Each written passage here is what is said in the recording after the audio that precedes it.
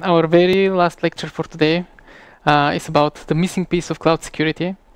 It's from Ell Marquez and Nicole Fishbein. Um, and of course, if you have any questions, shoot them out in our uh, Discord channel and I'll ask them after the talk. So hey, hey Ell, can you can you hear me? Yep, I can hear you great. Cool, thank you. And Nicole, are you there? Is everything fine? Yes, yes. Thank you. Thank you so much, folks. Um, there you go. You can take it away. Hey everyone, thank you so much for joining us today. I, I, know that you've been here for a while, so welcome to the missing piece of cloud security. We've got some whispering going by our moderator over there. I'll go ahead and introduce myself. My name is Ell Marquez, and if you live in the Twitter world, you may know me as Elo Punk. I am the Linux security advocate. Actually, I guess I've just been changed over to the security advocate as I'm digging into DFIR as uh, for a company called Intezer. I know security advocate's a weird of a weird name, and it basically means I get to work with researchers like Nicole to ask 100 questions and get to the point where I can come up with solutions to come and present to you. And occasionally I drag the researchers out of the research lab to come and present with me. So with that said, Nicole, say hi to everybody. Hello, uh, my name is Nicole, and I'm a security researcher at Intezer.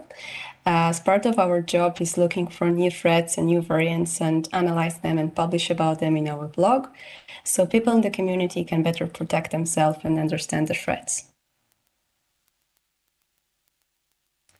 So here today we're going to talk about a missing piece in the cloud security. But for that, we need to understand, first of all, what is uh, the environment that we're talking about. So we talk about Linux. Linux is the most popular operation system for servers, and it's actually the most popular platform for cloud as well. Most of the cloud is running on top of Linux. Actually, uh, all of the, sorry, most of the supercomputers are running Linux as well. And the top websites are running on Linux as well. So Google, YouTube, Facebook, and so on. And only two websites, the big websites that are not uh, running on Linux, are actually uh, of Windows. So it makes sense. Oh, there's always the fun fact that 90% or 90, I wish, no, 50%, over 50%, there we go, over 50% of the servers running on Azure, that's Microsoft's cloud basically, eh, are running Linux. But even with all of that said, and maybe it's because I'm transitioning from Linux to just security advocate, we cannot forget the fact that Windows is still going to play a big part even in the cloud. I mean, we saw how frequent um, their use is, even when we came to uh, malware such as WannaCry, which transcended both, whether using cloud or on-prem servers.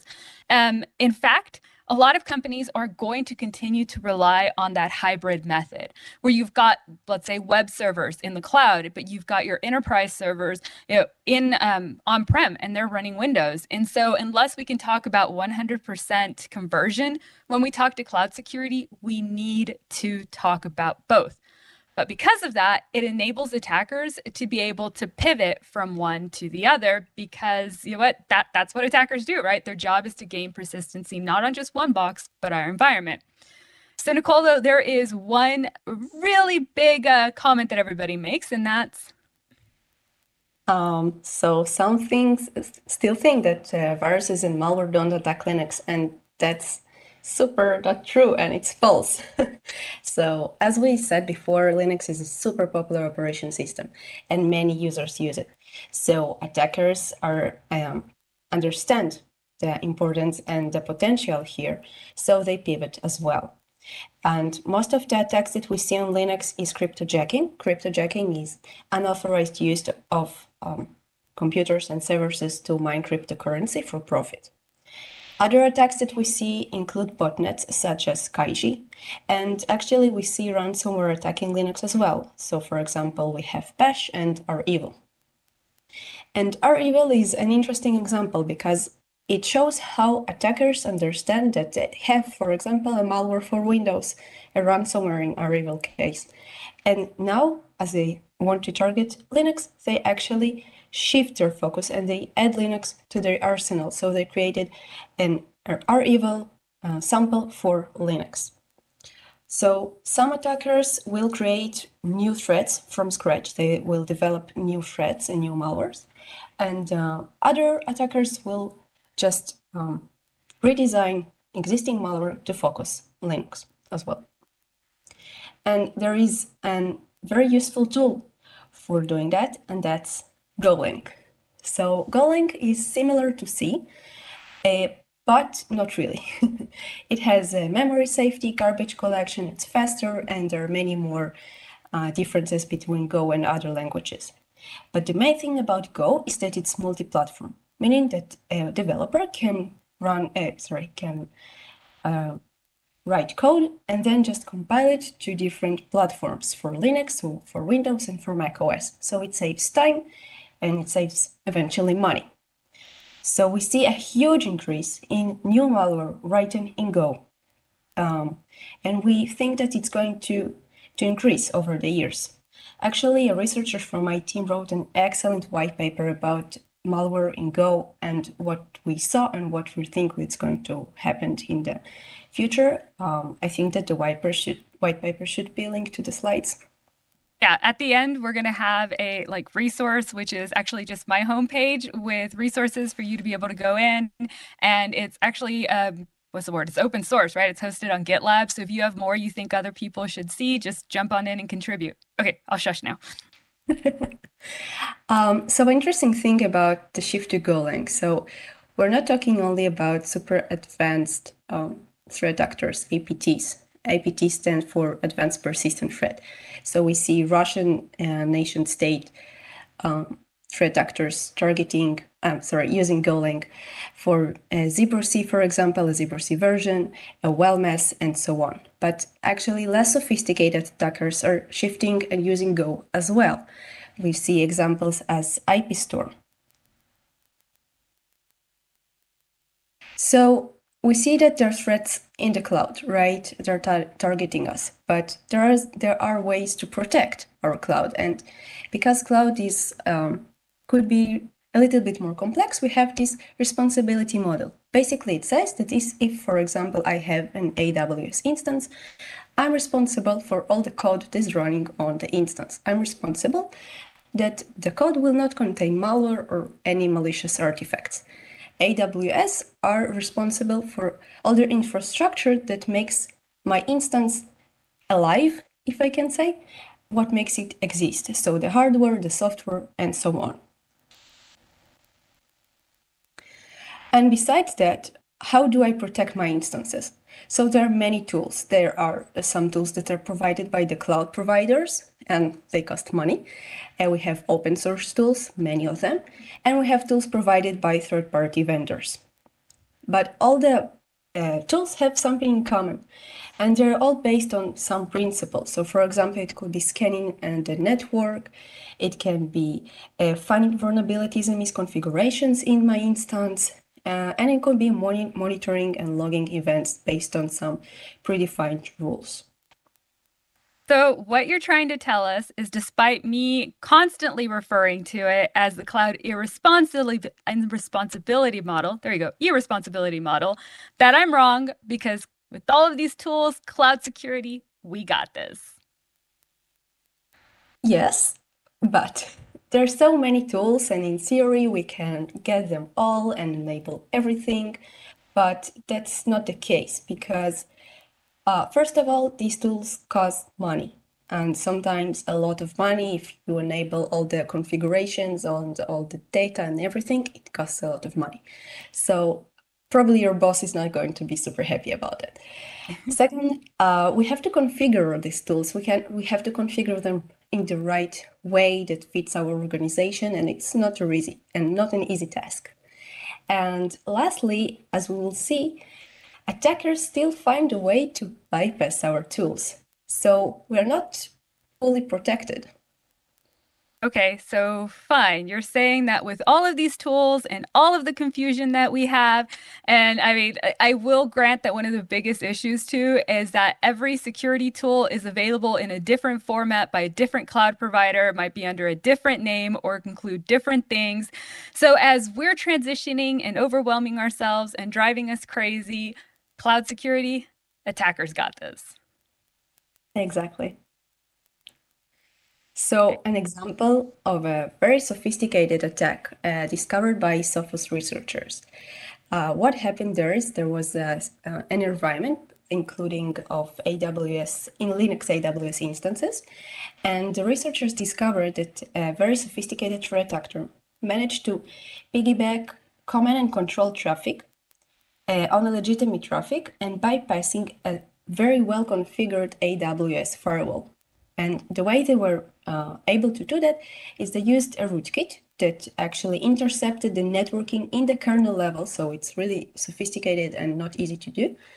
And by that, they managed, first of all, to communicate with a command and control server that sat somewhere in the world outside the, uh, the environment. And moreover, they were able to drop a rat into the system. And what is interesting about this uh, malware, about this rat, is that um, based on code analysis, they saw that it was based on a rat called Ghost, Ghost, with an O, with a zero instead of O, and um, it initially targeted only Windows, but here it uh, ran on Linux machines. So first of all, we, we see a multi-platform malware, a rat that shifted from Windows to Linux.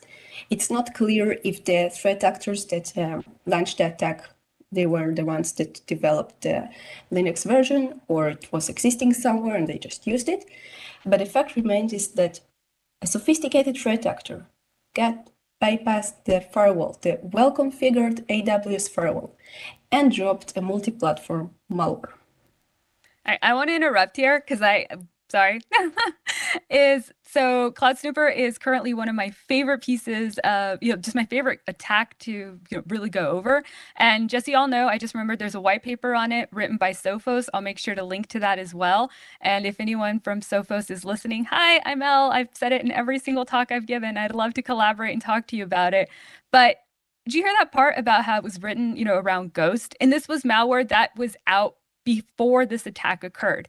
Malware that we knew how it behaved, that we knew what it was, that was open source, so we had the ability to play with it, yet it still was able to get past our traditional, you know, uh, scanning. It was able to get past our traditional antivirus when it came to um, when it came to signatures or behavior. And the fact that it was in the cloud, eh, it didn't even impact it. It was written to be able to bypass these cloud security methods. So once again, it's not working.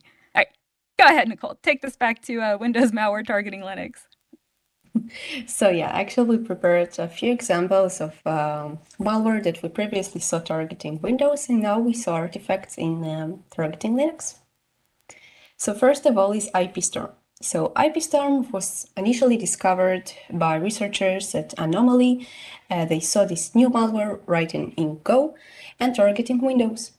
But uh, later, last year, our research team discovered new variants of the malware written in Go, targeting Linux and actually uh, other services and IoT devices, Android, and even we found a Mac OS sample. And we found a few new features, including SSH uh, spreading and two other instances, and so on.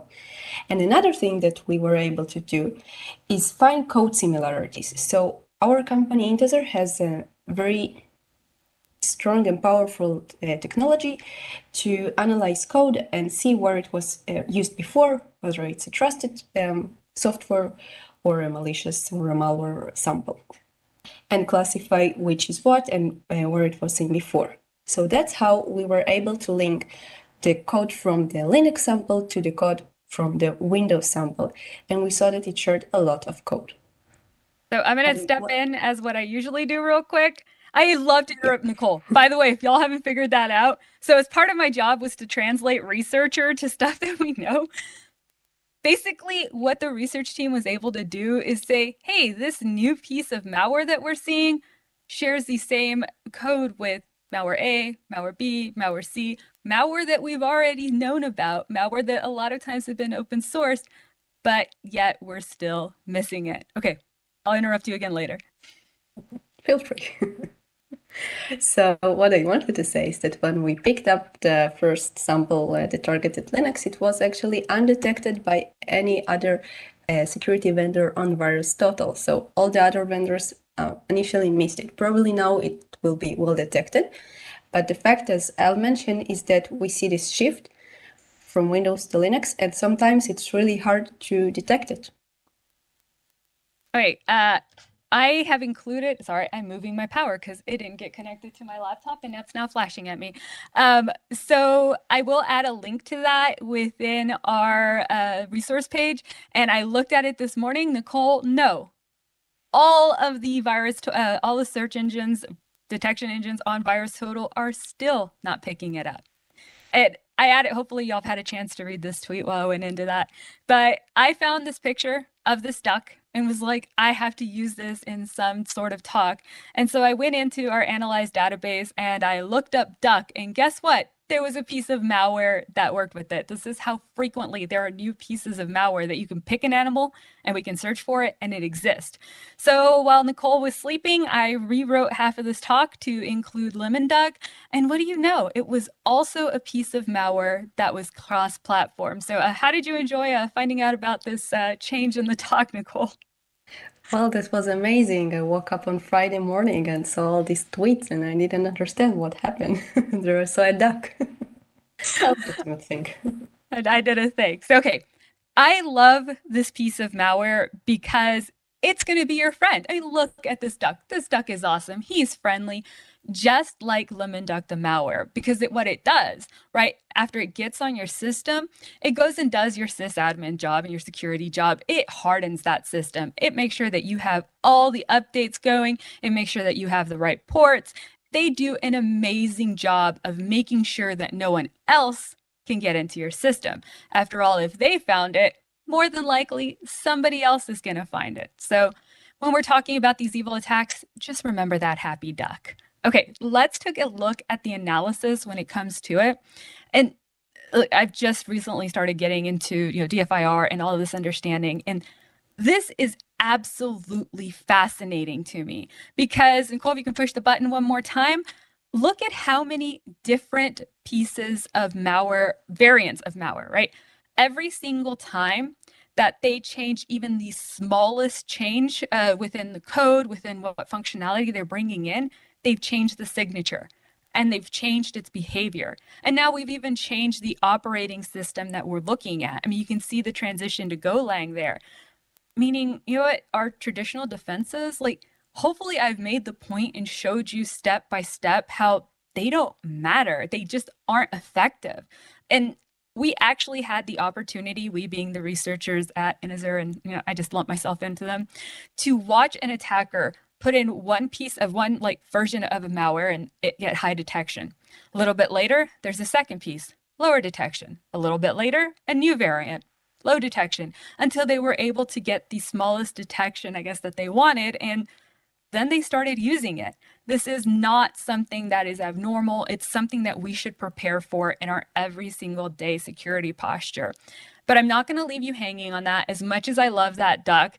Um, in the next slide, Nicole, please which will be available, of course. We're giving you the CVEs that were being used along with information on how you can protect your system. Folks, look at this. This attack is actively occurring now, is still effective, and it's using EternalBlue. How long have we known about that? How long have there been controversies about that? And we're still allowing it to happen. Okay, so uh, Nicole, the attackers are coming, right? Yes, they're coming. And there are multiple ways in which they can come. Uh, we call them attack vectors, uh, methods by which attackers can breach the system. So there are several of them. Uh, we will mention a few.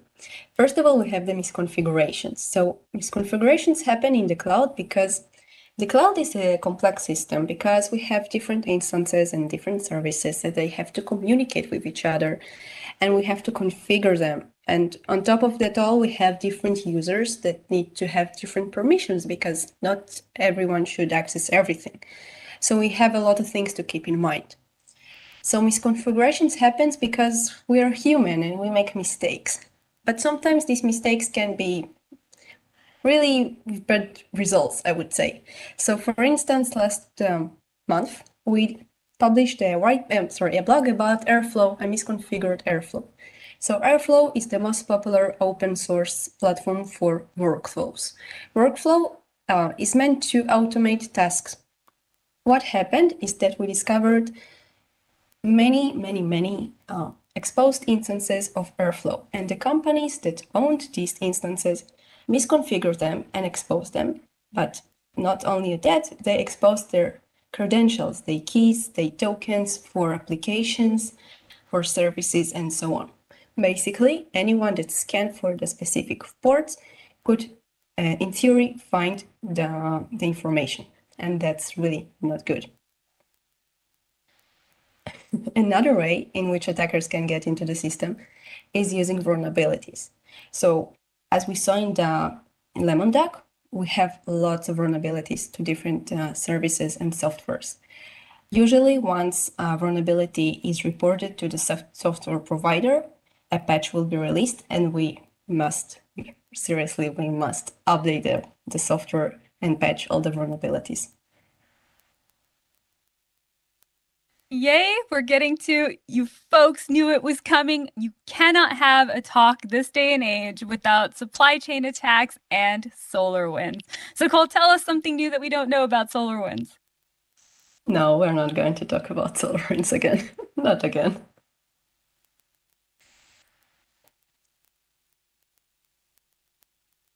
I don't know how to unmute myself. Okay, so Nicole alluded to it earlier when we were talking about the REvil gang.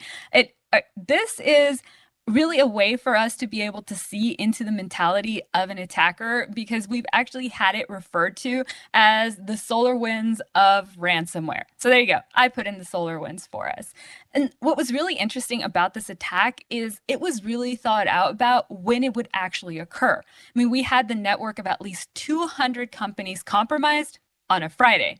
And in the US, it was the Friday before the 4th of July. So eh, you kind of check out the day before your holiday. So, in a sense, it was about a four day weekend. And the companies were on skeleton crews. This was attributed to a Russian speaking um, ransomware syndicate. And unless they have specifically claimed attribution, just put supposedly in front of everything with kind of italics text because attribution, we don't do it lightly it, the criminals um, actually were able to target a software supplier and you know, there we go. This is the whole supply chain again. And it was using, you know, na- network management configuration and packages. This is happening so many times. And we've even had the Linux kernel, we've had Apache, um, HTTP actually compromised. And many of them can't actually tell you what occurred. If there's any developers on the line, let me just tell you Node.js. And if you're not a developer, go look up Node.js vulnerabilities. And there is your Halloween story for uh, for the week and maybe for the month if you get scared. This was, um, according to one of my friends, Jake, one of the uh, sorry, malware Jake is the way that you all may know him, is basically an attack that really gave you visibility into the way that attackers were you know going to continue to attack. This was not happenstance that they planned it within these days. So as security teams we really need to find a way to be ready to actually dig into what's going to occur even before we can think of it occurring. Like does that make sense even when we're on skeleton crews, even if it's one person that's on the floor, we need to have the tools and the knowledge to know exactly how to react. Right? What is the average payout when it comes to search of these attacks? Well, we're looking at about half a million dollars. Button. okay. And 73% of these attacks were successful. Let me say that one again. Of the attacks that are being launched, 73% of these attacks are successful. That number within itself, not looking at anything else, should tell you the fact that something needs to change. And I swear we did not pay him. We actually do not know him. But uh, Dimitri from Network Computing said that the issue is that there is absolutely no last line of defense when it comes to these types of attacks. Nicole and I are here to strongly disagree with him. So, Nicole, you tried to get it in during our promo video, and I, doing what I do best, interrupted you. Fine. Give them what the missing piece of cloud security really is. So, the missing piece, the big reveal, is runtime protection.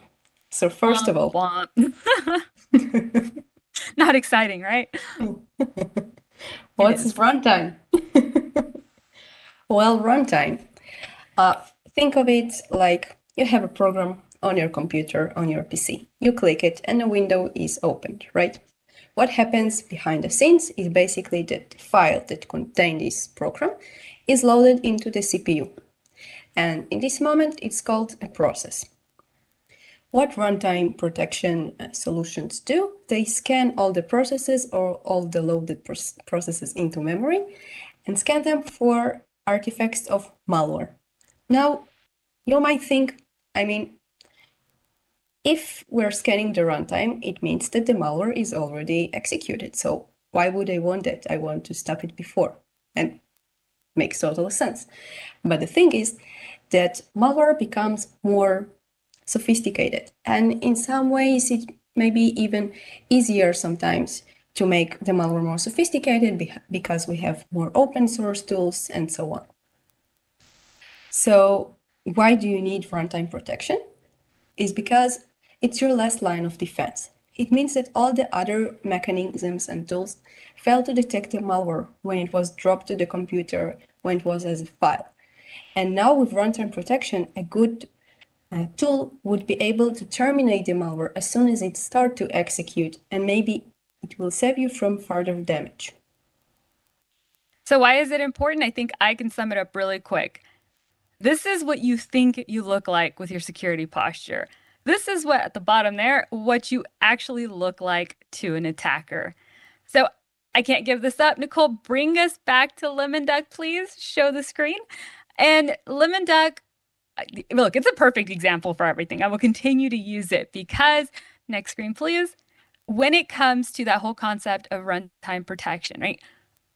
when the first instance of Lemon Duck came out, it was malware that we might not have seen before. However, it was malware that we could have, if we were monitoring that, known had shared malicious libraries. So even if it was able to bypass, the attacker was able to bypass our network perimeter and they were able to breach our systems. Look, breaches happen. We need to be prepared for that.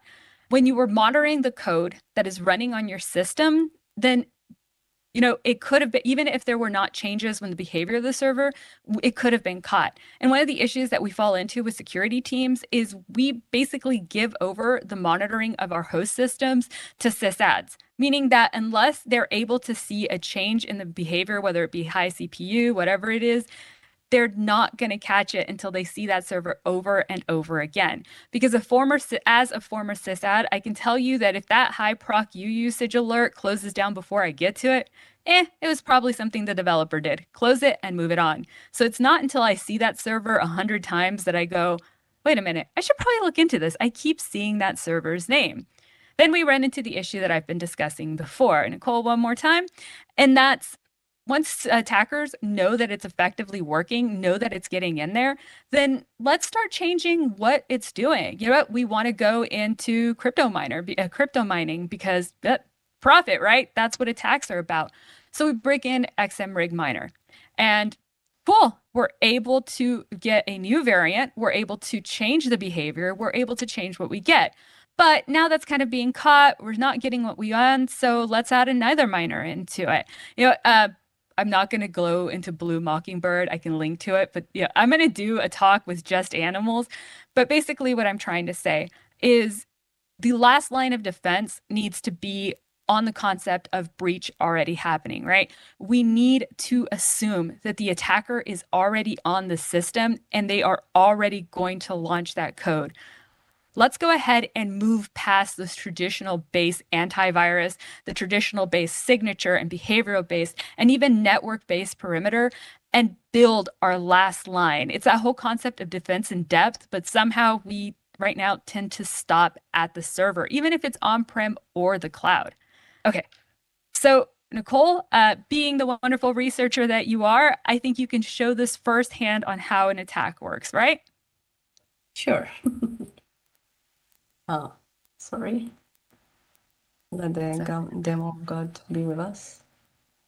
Live, man. We're just gonna do it live. Oh and I'm hanging out on the Discord channel if anybody has any questions or funny comments about, you know, lemon duck or blue uh blue jay. All right.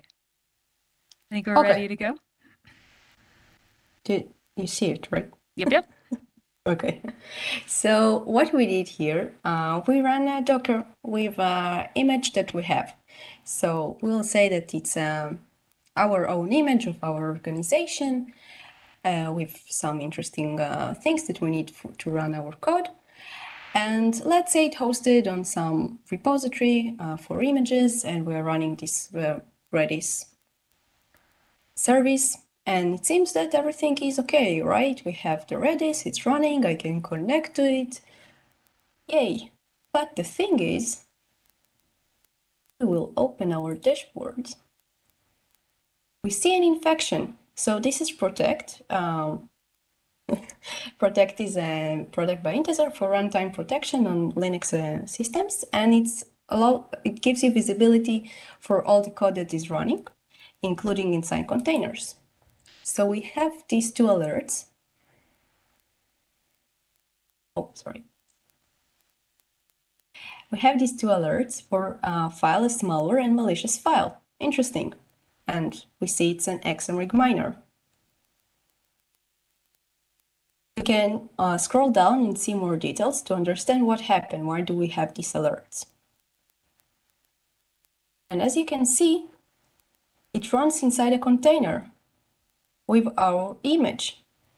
So basically, uh, what we see here is an example of an attacker that got access to our, our uh, repo and uh, sabotaged our image. And now it's a malicious image. And once we run it as a container, malware is executed inside our container, inside our environment. And for us, the users, everything seems fine, right? Because we have the Redis and we even don't know that malware is executed if we don't have a runtime protection. And from here, we can actually terminate the malware and stop the process. You don't want to leave that running on our system. We might get in trouble. Yeah. I'm gonna uh, interrupt as I do best really quick and let you guys know like this isn't a product pitch. It's just the tool that we need to know how to that we know how to use. So please, you know, go and investigate and look to see what tools it is that your company needs. Um, but just know this: you need runtime protection please, please, please, please, please, if you're implementing a product, think about the alerts that it may create.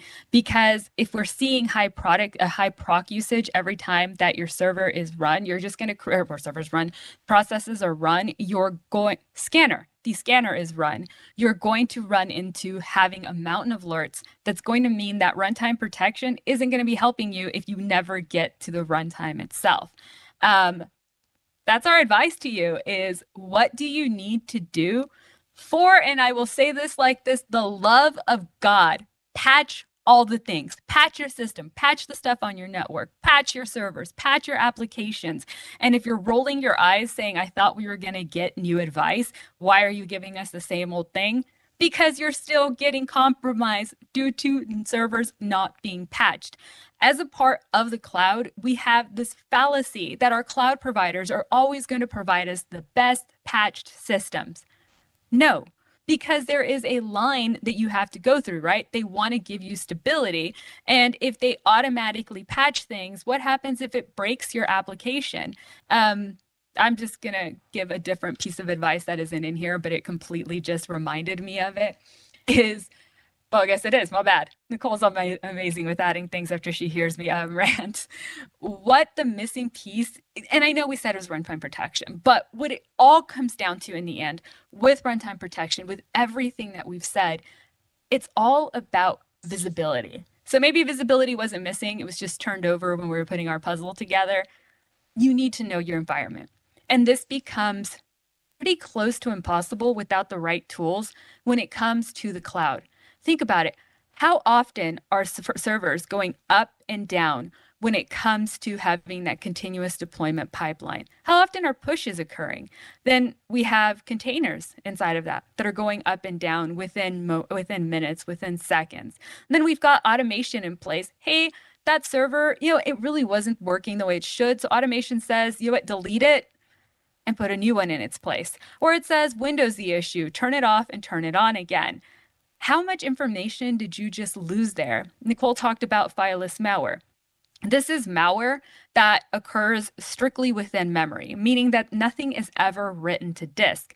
Many times, meaning that we don't get the logs generated that we would need to in order to investigate. And even if the logs were uh, put in place, the server is gone now, or it's been turned on and off again. By knowing our environment, we're able to put closer um, security around it. We're able to make sure that we're monitoring the right thing much too often or too often I see security, specifically us for the security team, put in place at the network level and we just continuously develop walls around us. But in the case such as Cloud Snooper, attackers, they are you know developers. They are they've probably worked within Blue Team to be honest with you. They know the methods that we're using. We can't protect what we can't see. Know your code. When it comes to this whole shift left to the cloud, all of the responsibility and has just been handed over to the developers. And we say, okay, well, we're shifting security left too. I spoke to a group of developers who basically showed me how you can automate bypassing security t- uh, testing because security teams they don't know their tools, they don't know what they're talking about and they're holding up the development cycle. Both your devs probably your ops and your security team need to know what's supposed to be occurring on that system. We can't rely on traditional, you know, monitoring when it comes to behavioral base because did we configure it every single time to adapt to what the code is supposed to be doing on our uh, supposed to be doing within our cloud? We need to know the threat. Without understanding the threat, it's very difficult to build the defenses around them. Um, one of the, and yes, I'm bringing it up again, one of the threat actors that you need to look at, and Nicole and I can disagree whether it's an APT or not, is Team TNT. They are specifically transitioning to their attacks when it comes to focusing on uh, crypto miners. And Nicole, I'm going to stop here and let you talk about the threat and the threat's abilities because I think that's a lot of what you do on the research team. Yes. So in the past year, I think we really um, analyzed um, their capabilities. So Team TNT are uh, interesting threat actor because they're targeting. They started from Redis and they then shifted um, to Docker and Kubernetes, and they're probably going to shift again to uh, new services that can be misconfigured or, or vulnerable. And uh, their main thing that they're doing, they actually drop crypto miners using a misconfiguration. They're targeting um, relatively low hanging fruits, and their attacks consist of scripts, many, many scripts. So sometimes it really uh, could be harder to detect the threat. And only uh, we see the malware, the crypto mining that is running, and not uh, the actual scripts that led to the execution. I mean, you say scripts. I mean, like it's exactly what we talked about, right? They're starting to rely on, uh, well, really, even from the beginning, their tactic has been to rely on fileless malware. Um, not from the beginning, but in some point they did uh, make a shift. They starting to use an open source tool called Ezuri, written in Golang, and uh, it enables them to use fileless malware. So basically, they pack their malware using an open source tool and deliver this um, um, file and once it was execu executed the malware was fileless meaning that uh, there was no actual malicious file on the system and the malware was executed in the runtime and that's the only place where you could uh, catch it I talked earlier about you know attribution isn't given easily, but um, I, I should have linked on it. But Team TNT is very active on Twitter and they will respond back to researchers and what they're seeing. So we can tell you definitely that these are the methods that they're using because they're very proud of it. And it's kind of cool. They've actually tweeted at our research team as well. So if you want to keep up with how these attacks are transitioning, this is an attacker that you want to keep your eye on um, because they're going to tell you whether they did something or not. All right, back to our points here. Um, visibility into your security is key. I look, I've worked in the security industry. I, have worked here for a while, and I love our policy of we're going to have this white binder with every policy that we're going to do and exactly how we should handle it and who's going to go where. okay, but what the first time we're introduced to it is when we have a junior sysad that runs and grabs the binder and pulls it open and starts going over what you're going to do. You get an alert. You know that there is an attacker on the system. You have monitoring in place that tells you what that's actually doing. You know more than likely based on what, you know, the indicators what threat you're looking at. What's the next step? that next step can't be go get the binder. You need to have collaboration within your team's visibility to know what you're going to do and not just have it hang while somebody goes and grabs a manager. Oh, all right, let's sum this all up. The big takeaways that I want you to have within this patch your system, patch your system, patch your system. Did I mention patch your system? From there, know what's going on in your environment, know what's running within it, collaborate with one another if I haven't brought that up enough. And really, it is not going to be one solution. I know we laugh at that concept of defense in depth. The issue is that we're not going deep enough. It's as simple as that. And with that, um, I think we've entertained you all enough, right? Uh, we're happy to answer any questions. I know we said a lot, so if afterwards you're thinking, oh, wait, I should have thought this, or they didn't go into clarity here, both Nicole and I are active on Twitter.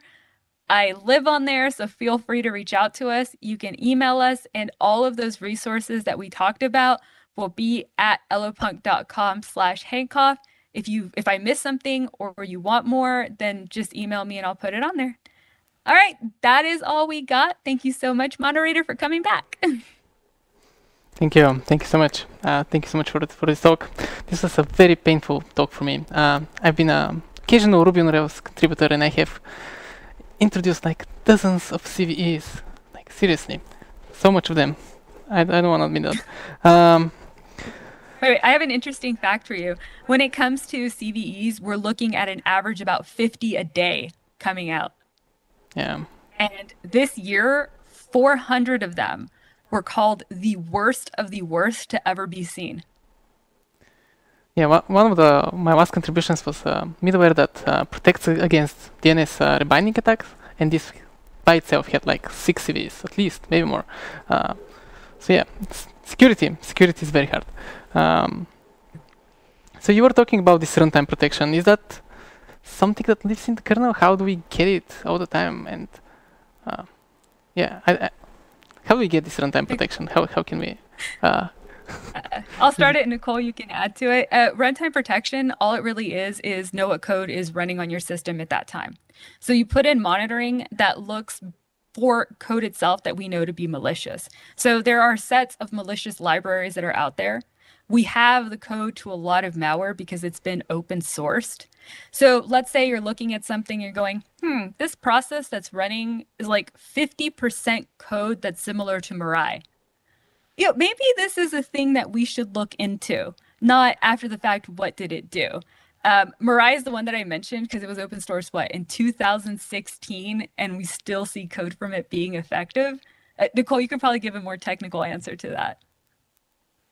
Um, I just wanted to add that if you're asking from a perspective of uh, how do you develop something like that, so yes, there are different solutions. It could be a kernel model uh, or an agent that uh, sits and uh, listens for system calls, audited logs, and so on. So uh, there are different uh, solutions for this protection.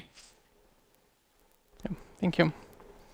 And um, would you recommend automation for our world because you know we're mostly web web devs around here. Like uh, our apps run on like servers or even more. They don't run on servers anymore. They were they run on Kubernetes. They run on pods. They they use Docker images. So we have so many dependencies like all across the board in our infrastructure, in our code. So all of this can be vulnerable.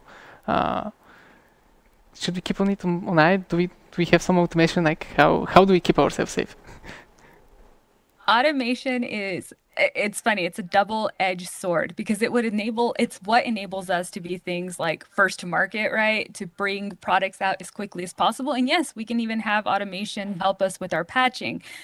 But we're automating i always say that we now have ops as a service because we're automating what should be actually handled by an individual. Automation is great but it, there needs to be a person behind it. There needs to somebody there needs to be somebody that understands exactly what's occurring because when something breaks, how long is it going to take you to deal with automation and then get to the problem itself? Uh, Nicole, I know that you've done some Devi stuff, so what do you think?